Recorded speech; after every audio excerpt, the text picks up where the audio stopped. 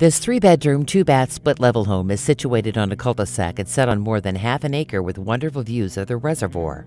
The living room, dining room, and kitchen are light and bright.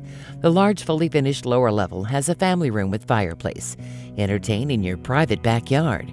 Experience everything this home has to offer by calling Shola Nagy today.